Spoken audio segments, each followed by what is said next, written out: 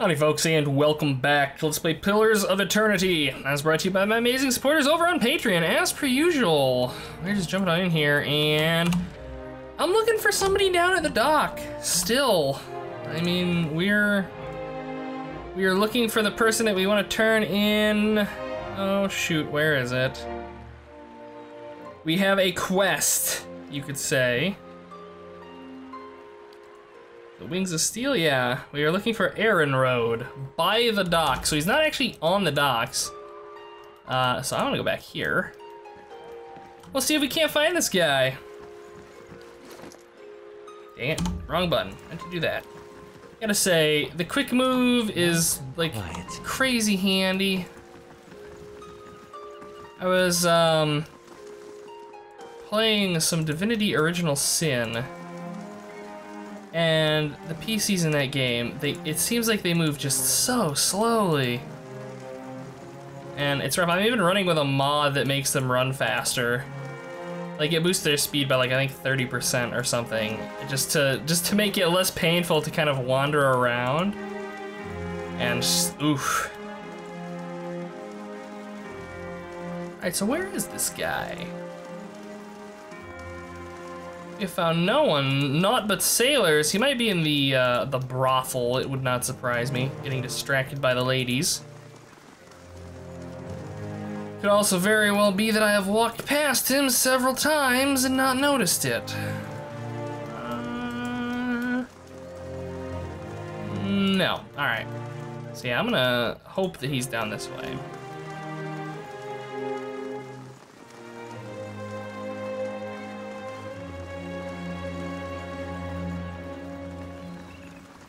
There's nothing going on? All right.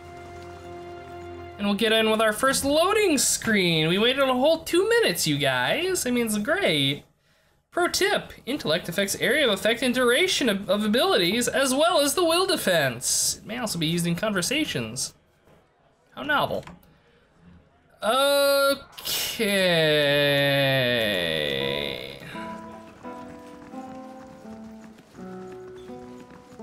Just a lot of backer NPCs by the look of things. And and a chef whose name I can't see because ha, because the uh, examination things pop up ahead of them. as well as a random yawn. Okay, well, there's no... Alright, I gotta know who Big Dermsey is. The Orlan man seems to walk with a slight limp. He doesn't say anything, but he stops and regards you with interest. Oh my god, we can just be like, how much? Uh, well, hmm, assuming he's, you know, servicing somebody, if he was servicing a guy and the dude was particularly rough, that could be what's wrong with his leg, so.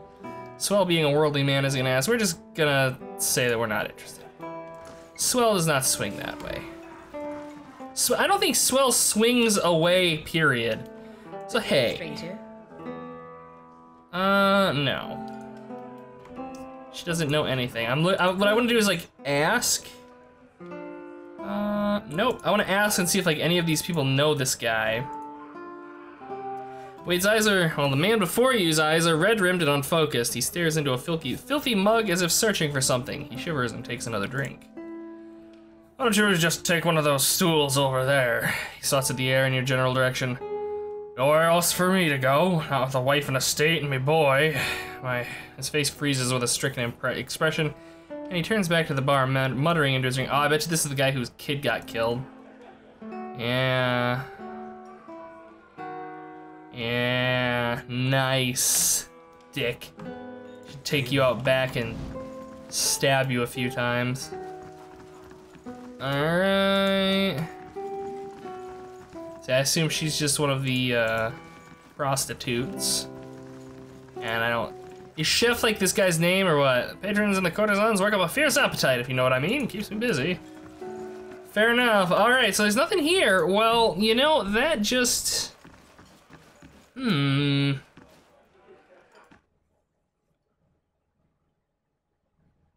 I don't know, guys. Druids have a wide variety of area effect defense spells. Yeah, they do. Man, I miss having that little dude running around with me, this death magic, the lightning storms and stuff. That's pretty satisfying, I'm not gonna lie. Who knows? Maybe in Deadfire. Okay, so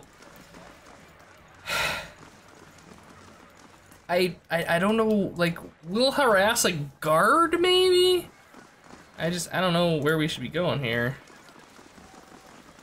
Sailors, commoners. Uh, you there's one up here. Yeah. Hey there. No. Okay. Yeah. Just by the dock.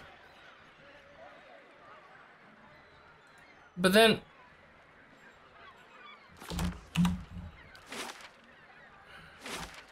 Because, like, it says two things.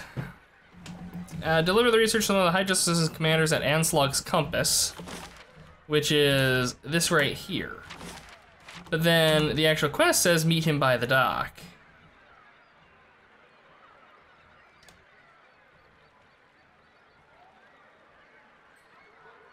So, I, I don't know. I guess we'll go back to Anslog's Compass. This might just be like a poorly written journal entry.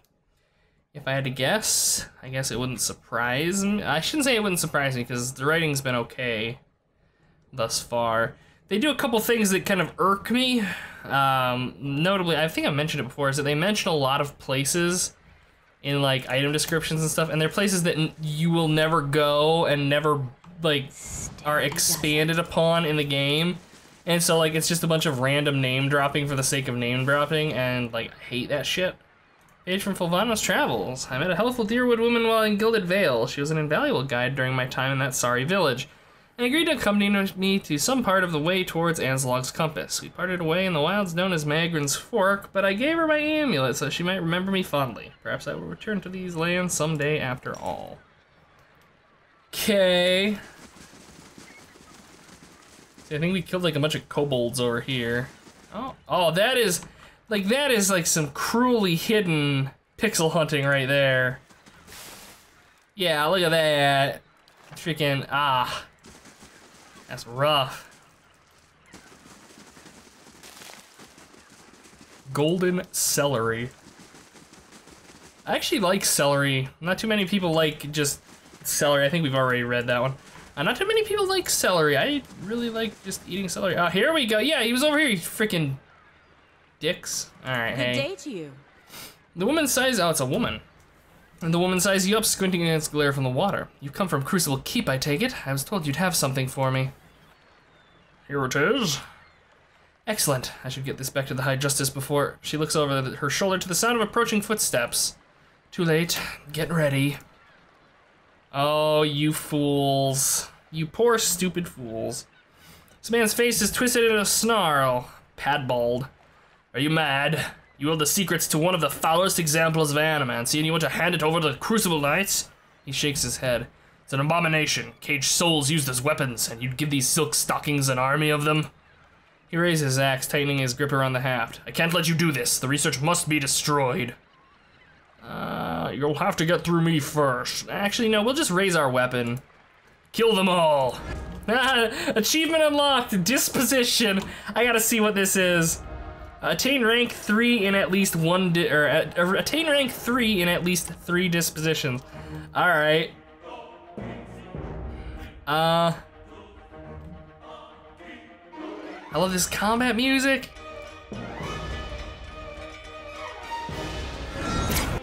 This is like probably the best combat music in the game. I actually bought the soundtrack for this uh, between I think probably my last recording and this one. And like the combat music in general in the game is pretty good, but this is easily the best one. Okay. So this guy's causing some trouble. Aloth, I believe you can send him flying back with this. Uh, and we'll just do that there. All right. He's like, I've thought better of this, except not. Get out of here. Oh my god, Aloth actually smacked him with his tome. That's great. Uh, I don't really feel like I need to do too much here. I think this is pretty well solved. Uh, Aaron Road is, oh, barely injured. I thought that said badly injured. Get in there, devil. Ah, yeah. Oh, swell dropped her, nice. Aaron wipes her blade on the lining of her cape. I'll take that as our cue to leave. With the dozens growing so bold, there's no time to waste. She strides back towards the waiting boat. Give my regards to the commander, and watch your back out here. Alright. We got this. 480 yeah. experience points. And some miscellany that I'm really not too particularly interested in, but will eventually fetch us some money. Right. Oh, and a mage. Is the Screamer of the Dozens Wizard. I think this might be new? Yes. New spells for Loth. Let's see what we've got. Ringgrim is a repulsive visage. Sure, why not? I mean, I suppose at this point, I can just go through and learn everything because why not? I mean, we have so much money now that there's really no reason for us not to just learn all of these spells. Oh, actually, now that I think of it, can you... Can you scribe scrolls in this? It doesn't appear that you can. Hmm. Maybe it's like a drag and drop type thing, I don't know. Uh, but yeah, that like just occurred to me, is that like the only way for mages to learn spells other than the ones they know is to acquire the grimoires of you know, other mages, which honestly, mechanically, like I think that's okay. Like that, like, and I guess it make would make sense in lore too, as you know, keep spells kind of mysterious and valuable, so that not necessarily all mages are gonna be just, you know, free balling everything. There. Alright, so Aloth has learned all the spells from all the books that he has, and we still have 132,000 copper pands. This I'm just never going to spend, but hey, we've got them, right? I need to buy healing potions or whatever, you know, we'll be okay. And I believe we want to go to First Fires, is where the Crusaders or whoever they are are. Oh, man. I guess one of the upsides to coming back and being um, I over leveled for this content is that we're going to be able to get through it and like it basically like we're just going to be able to kind of go through this and experience the story instead of having to worry about me playing super super super well uh, which is kind of nice not having to worry about that. I'm very much one that like oh god what game was it? Massive was it one of the Mass Effects that like released with like a story mode difficulty where it like completely trivialized all of the combat and stuff? Oh wait what? Rogue Forge Knights. Oh yeah, there's some corpses out here, nice. Um, and like, I know there was a huge hubbub about that, you know, oh, you know, why why even play this game if you're not going to be challenged by it? And you uh -huh. know, there's uh-huh. nothing wrong with playing a game just to enjoy the storyline in it. Like there are certainly some games that have really good stories. Like for example, um, like Planescape Torment, if you play that game right, and you play through it cleverly, I think there's maybe only like one or two fights in that entire game that you can't just avoid. Like through conversation options and stuff. Hey guys, reinforcements have arrived.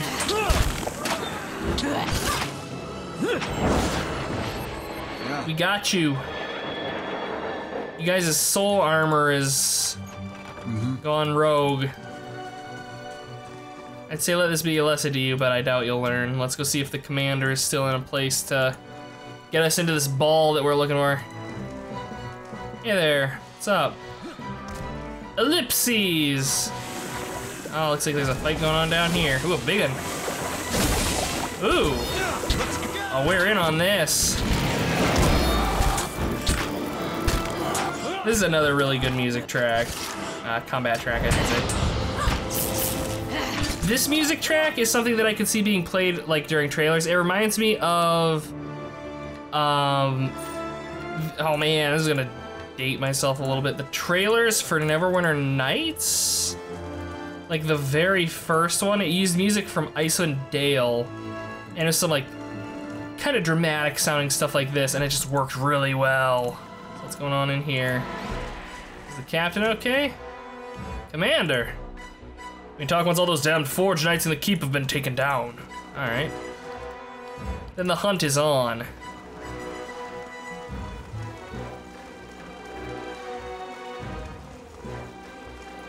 But uh, yeah, I don't know that.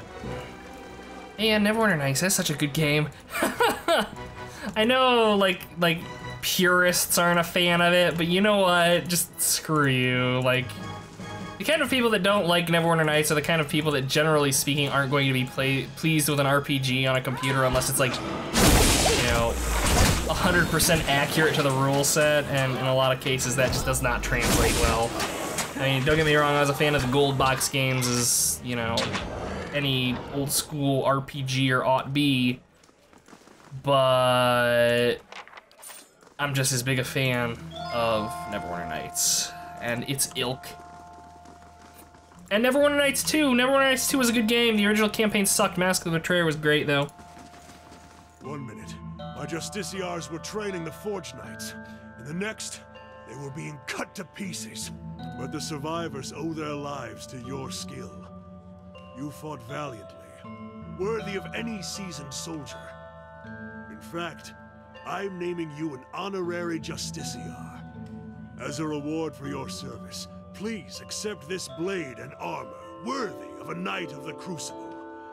If there's anything else I can do for you, you need only ask. I'll send word to Fleetbreaker Castle immediately. We clearly didn't understand the Forge Knights as well as we thought.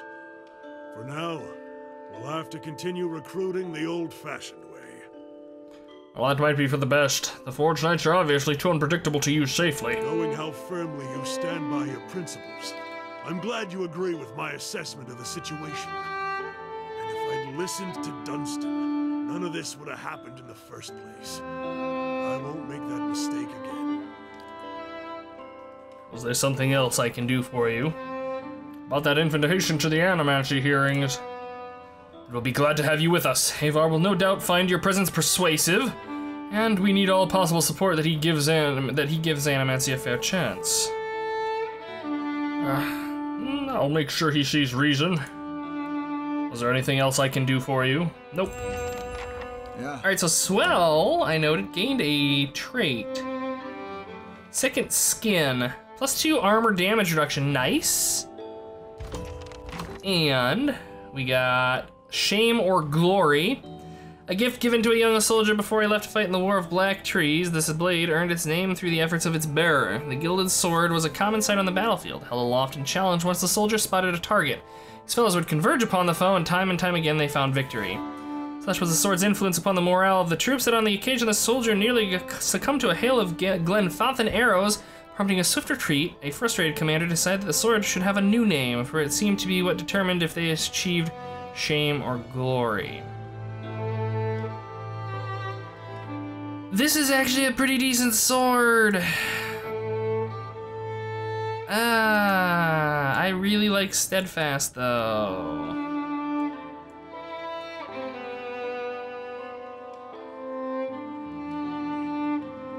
So right now Steadfast is doing more damage, uh, but that's just because I think it has the exceptional quality on it. Immunity to Frightened is really nice.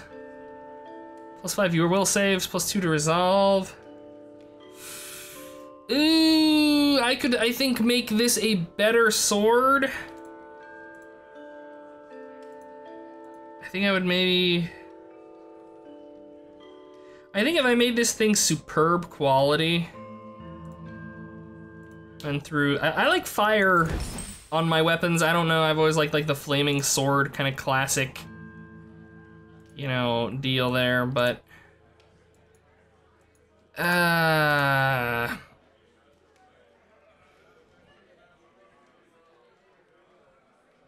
like this is this seems like a really good support sword for Swellen. Like I don't really like he's not here for damage. So yeah, I think I'm actually gonna have him use this thing. There you go, there's a tiny little blade. And then we got some Crucible Knight armor, which, okay. Sorry guys, I don't care that much about your armor. Uh, sword's okay though, look at that, flaming weapons for everyone, it's great.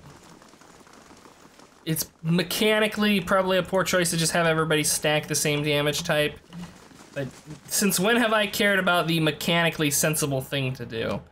Uh, I do think I'm gonna go ahead and call it here. Uh, we're at 20 minutes. So as per usual, folks, thank you for watching. I hope you had a good time.